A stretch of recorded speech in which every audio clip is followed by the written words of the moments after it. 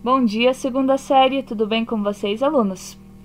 Então, na nossa aula de hoje, vamos trabalhar as páginas 46 e 47, ainda falando sobre microclima urbano. Na nossa última aula, lembram, a gente falou sobre o fenômeno da ilha de calor, que é a elevação das temperaturas nas grandes cidades. Então, a área central do espaço urbano ela vai apresentar temperaturas mais elevadas é, em comparação às áreas periféricas, as áreas que ficam ao redor. E são várias, vários os fatores que causam as ilhas de calor.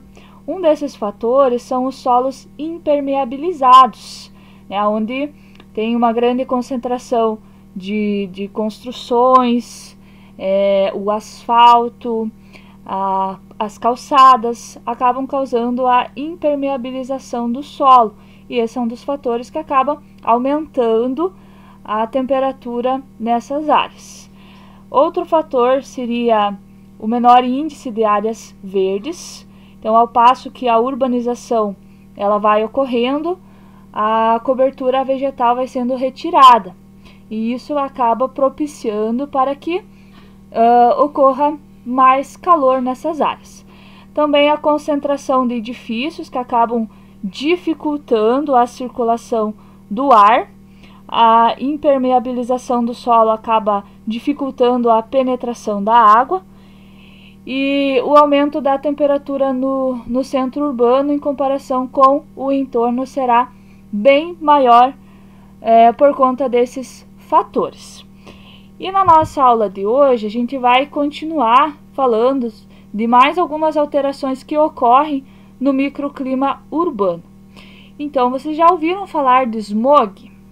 Smog é uma junção das palavras do inglês smoke, fumaça, e fog, neblina. E é semelhante a um nevoeiro causado pela alta concentração de poluentes.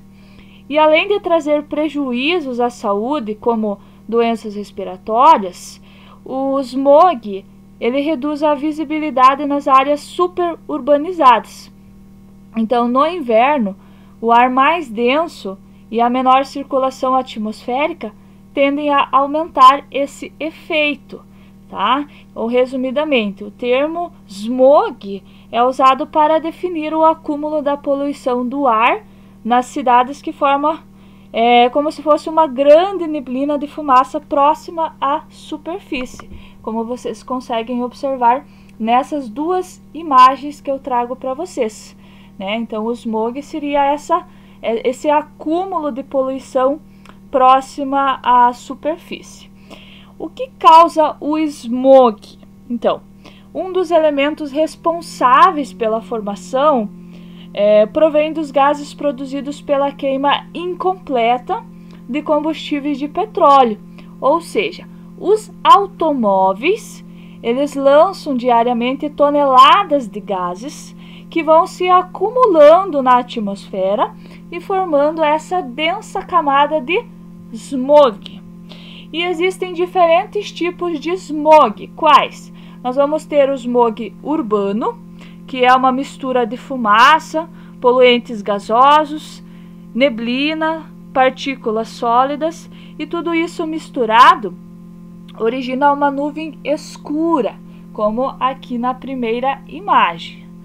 Nós temos outro tipo de smog, que é o smog industrial, onde vai ter uma junção de fumaça, neblina, ácido sulfúrico, dióxido de enxofre e filuge, né? Então também vai causar uma fumaça, é né? uma camada de fumaça próxima à, à superfície. E o terceiro tipo de smog é o smog fotoquímica. É chamado assim porque só ocorre em presença de luz e é comum nos dias muito quentes e secos e tem a sua origem nos gases liberados por escapamentos de automóveis. Então é aqui da segunda imagem que vocês conseguem observar. E além né, de, dos smogs, eles deixarem as capitais com esse aspecto feio, nebuloso e causar danos à saúde do homem, como citado, a poluição urbana faz com que as cidades recebam, em média, menor quantidade de radiação solar que as áreas rurais. Por quê? Porque o material particulado em suspensão no ar absorve parte da radiação e a reflete de volta, diminuindo a parcela que atinge a superfície, né? Então, uh, aqui nós temos a é, incidência da radiação solar por conta dessa é, camada de fumaça menor na, nas cidades, certo? Outra alteração no microclima urbano é enquanto às precipitações.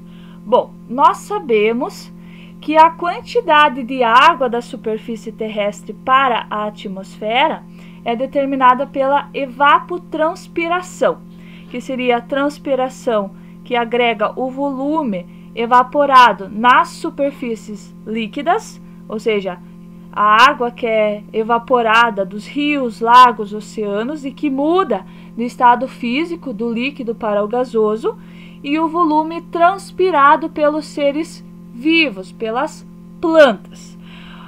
Por que, que a evaporação é, evapotranspiração diminui nas metrópoles? Primeiro, porque há pouca vegetação nas cidades e isso reduz os índices de transpiração. Quando chove, o solo que é impermeabilizado, ele retém um volume muito maior de água na superfície. E aí ele possibilita o aumento da evaporação. Porém, a evaporação ali, ela não compensa a diminuição da transpiração. Então, nesse caso, não se formam precipitações. Aí, quando que vai ocorrer um aumento nos índices de precipitação nas grandes cidades? Que fatores justificam? Então, um dos fatores que justifica é, um aumento na precipitação nas metrópoles é a elevada quantidade de micropartículas de poluentes, ou seja, é, a quantidade que existe no ar de poeira, de fuligem, que atuam como núcleos de condensação e que facilitam a, con a conversão do vapor de água em gotículas. Então, por isso, a, por exemplo, São Paulo é conhecida como a cidade da garoa né? Mas por quê? Por conta da poluição, das micropartículas de poluentes que atuam como núcleos de condensação e que fazem com que precipite nessas áreas, certo? É, outro fator é por as cidades possuírem as ilhas de calor.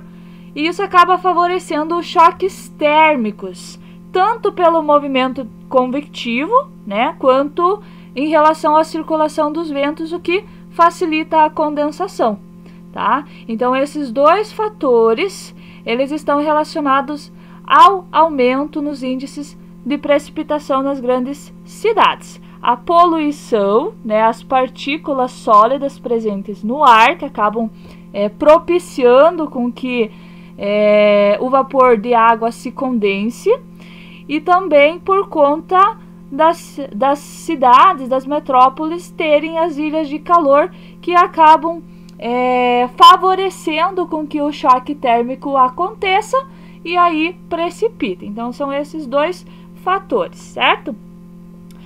E outra coisa que está relacionado com as cidades é a chuva ácida. Vocês já ouviram falar de chuva ácida? Então, a chuva ácida é um fenômeno atmosférico que ocorre especialmente em países com elevado nível de industrialização. Né? Então, vai ocorrer nesses países porque o nível de poluição é muito maior. E a chuva ácida, ela consiste na precipitação com elevada acidez, ou seja, a chuva possui grande concentração de ácidos como o dióxido de enxofre. E esse fenômeno é, ele pode provocar graves problemas ambientais e também provocar danos à saúde dos seres vivos. As chuvas ácidas podem ser precipitações sólidas, né, precipitações de granizo, ou líquidas com, uh, com uh, compostos químicos de acidez superior ao normal. Então, qual é a origem das chuvas ácidas? Então, ela pode ter origem natural ou também ela pode ter, é, pode ter origem antrópica, tá? Então, os principais geradores naturais, por exemplo, são os vulcões, que emitem é, atmosfera gases, partículas compostos de enxofre e poeira. Então, um dos fatores naturais que acabam provocando as chuvas ácidas são os vulcões. Já os principais contribuintes antrópicos da chuva ácida estão relacionados aos ambientes com grande concentração de indústrias e veículos. Por quê? Porque a queima de combustíveis fósseis e os gases lançados pelos é, veículos favorecem a formação de chuva ácida. Então aqui nós temos um esqueminha para vocês observarem, né? Gases ácidos liberados na atmosfera, ou pelas indústrias, ou por é, veículos. Esses gases eles estão transportados para cima pelo vento, né? Tem um movimento de convecção.